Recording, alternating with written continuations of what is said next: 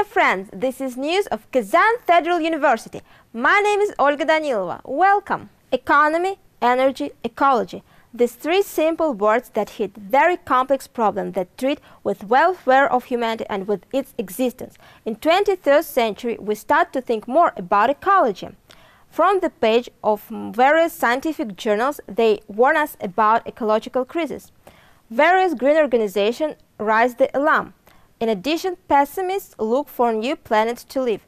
On the contrary, scientists of Kazan Federal University make every effort to stop the ecological apocalypse. In the 21st century, the number of global environmental problems increases rapidly. Formation of ozone hole, human population growth, scarcity of fresh water, the greenhouse effect, the disappearance of some species of animals and plants, marine and soil pollution are just few environmental problems that require immediate solution. Moreover, the sooner steps are taken, the greater chances of humanity will be. Realizing this, Homo sapiens stepped up all their resources and knowledge to resist some environmental threats. Kazan Federal University doesn't remain from solving such global puzzle. In addition to fundamental research in the field of ecology and nature here for several years, there are two innovative enterprises whose activities are related to environmental protection.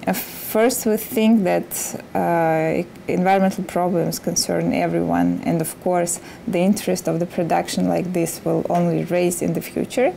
And second, of course, we have to base on our own um, experience and knowledge and we are specialists in this area.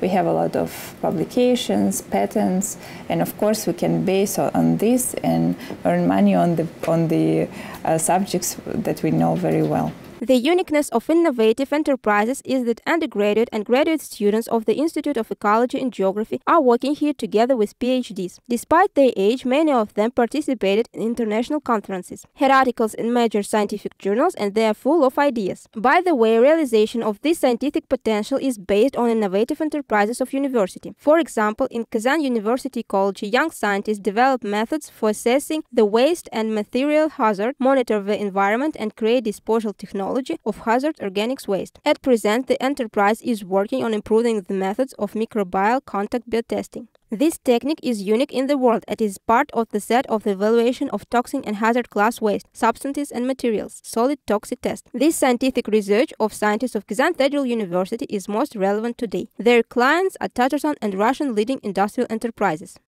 Our test set is quite simple to use. Here is everything you need from the toxicity testing environmental technology and ending with all reagents and even tubes to make research. Possession of any skills is not necessary. An employee of the company can make this test. Another well-known research of young scientists of Kazan Federal University is technology of biorecycling industrial and household waste harmful to the environment. It is situated in another innovative enterprise of Kazan Federal University, Environmental Innovation. Company name speaks for itself. Non-standard methods are used here to solve environmental issues. So, for example, various microorganisms are used in recycling household and industrial waste. They are selected individually for each case. Thus, hazard properties of the waste are minimized and some of them have second life. We we don't just neutralize hazardous waste. Aerobic and anaerobic technologies are used during recycling. Using them after processing, we can obtain not only waste with minimum hazard level, but also commercial products such as compost and biogas. Our young scientists are very modest. They don't much talk about their research because they refer to the fact that it has only local application. But as they say in the well-known proverb, if you want to change the world, start with yourself. The beginning of the year for Russian students is always associated with winter session and long-awaited holidays, but the university life is full of interesting events. About the brightest events of the first month of 2014, we will tell you in our news Kaleidoscope. 18 ambassadors of African countries visited Kazan Federal University. The delegation arrived in Kazan to discuss training of highly qualified staff in Kazan Federal University for Africa. To do this, the guests met with the leaders of the university as well as its infrastructure and logistics base. During the meeting, there was reached an agreement on the establishment of the African Studies Center in Kazan Federal University. Scientists and experts from African countries will work in this center. The visit was ended with countrymen students meeting. I was very, very impressed by the number of African students in your university. This is the proof of uh, the good relation between Russia and Africa. So uh, for me, I think that uh, after discover what we saw at this university, for us now is a challenge to send more students here this year, Kazan Federal University will be even more attractive for foreign students. Since September 2014, some disciplines will be in English. First of all, it involves subjects of natural science profile. Another innovation will facilitate the learning process for students. All lectures given at the university will be available to everyone on the internet.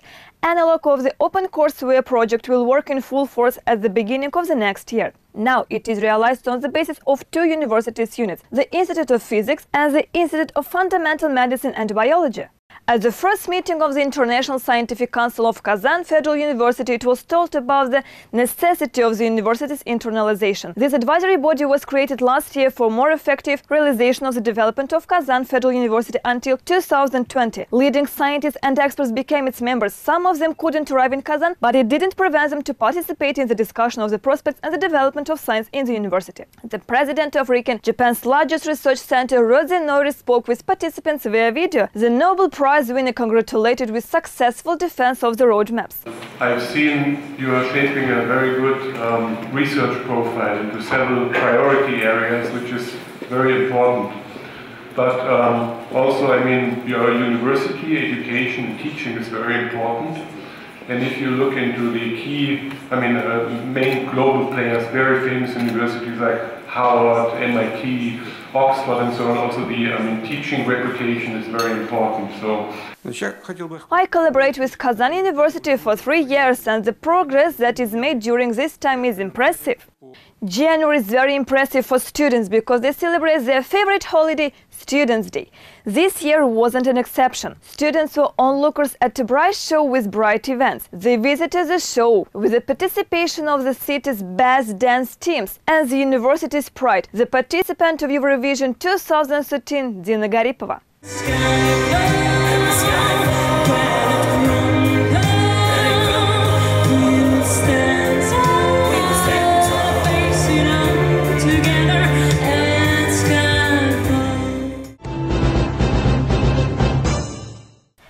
Students of Kazan Federal University get fun and loud applause not only in alma mater. January 25th, the annual Student Award Student of the Year 2013 took place in the one of the most dynamic regions of Russia, in Tatarstan. Who celebrated their success and what was memorable on the award ceremony? Let's watch the next story. Annual Student Award Student of the Year is one of the most magnificent events in the life of every Russian university. For nearly six months, the best of the best representative of universities proved their superiority with thirst in their home universities, and only after that they achieved the super final. This year, 77 participants achieved final and passed the decisive stage. All they could not just steal the holiday atmosphere but became real stars, which will be example for other students of our republic. These young people make me not just delighted, I'm proud that we have such a wonderful student, talented, smart and most importantly active. Sure, we can rely on them. Worthy replacement is growing. Those who came to support their friends and colleagues could also enjoy the holiday. Long before the ceremony, the organizers set a goal to make unusual ceremony. We can honestly say that they had success. Performances of popular music and dance group helped viewers not only bright up the waiting breaks, but gave them a lots of bright emotions and impressions. The author to host the final Russian Award Student of the Year in Kazan was supported by loud applause. According to the organizers, students of Tatarstan are deserved it. Certainly it's a pleasure staying here because it's a great event today that we've seen on this stage because all the best students all over the Republic of Tatarstan were here and they were mentioned because the the great the great effort that they make is uh, is something great and I think that this kind of uh, prizes they should pass very often in our republic in, in Kazan because people should know that they can show their best here and uh, there are many people uh, looking and trying bringing up and making them better. This year's ceremony of finalists was a real triumph for the Kazan Federal University. Its students were the best in several categories and the overall winner and winner of the Grand Prix award was a fifth year student of Kazan Federal University, Ildar Khuzyatov. The secret of success he described briefly. Work on yourself. By the way, Ildar will be able to continue education at any university of the world. The president of Tatarstan Republic, Rustam Minnikhanov, personally handed him certificate for education. But this was not all. The jury decided that Kazan Federal University also won the Grand Prix in category Best University. I want to say that this victory is not only our achievement, but achievement of all leadership of the Republic, because without the support that it was provided to us, we couldn't achieve such success in all areas, in science, sport and students' life.